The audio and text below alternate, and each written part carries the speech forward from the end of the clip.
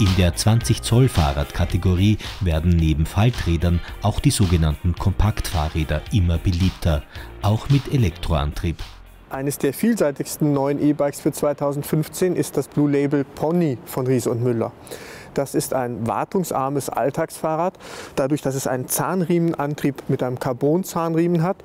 Durch seine kleinen 20 Zoll Räder braucht es nur wenig Platz beim Verstauen und es kann passend gemacht werden für Menschen zwischen 1,50 Meter und 2 Meter Körpergröße durch die Verstellmöglichkeiten des Vorbaus und der Sattelstütze. Also wir falten das jetzt als kompakt und platzsparendes Rad klein zusammen. Das heißt, wir falten es einmal, wir falten es zweimal und wir machen es jetzt ganz klein. Auch dieses Rad, wie alle Blue Label Räder, hat einen Bosch-Antrieb, in diesem Fall ein Motor aus der Performance-Serie.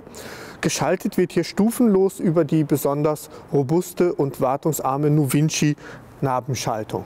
So, ich mache mal das Licht an per Knopfdruck. Licht an, steht im Display.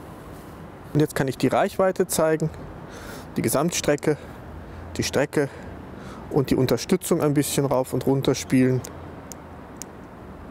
und das Licht wieder ausschalten. Es gibt verschiedene Modelle in der Pony-Serie von Blue Label, die ungefähr bei 3500 Euro preislich beginnen.